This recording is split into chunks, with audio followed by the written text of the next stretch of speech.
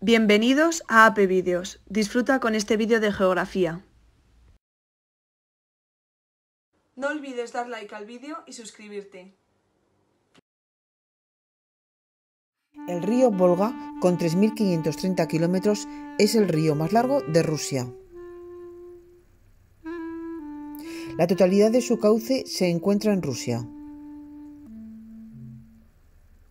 El río Volga es además el río más largo de Europa. El río Volga nace en colinas de Valdai o meseta de Valdai. La mayor parte del río Volga es navegable. El río Volga desemboca en el mar Caspio. El mar Caspio es el lago de agua dulce más grande del mundo, no conectado con ningún océano.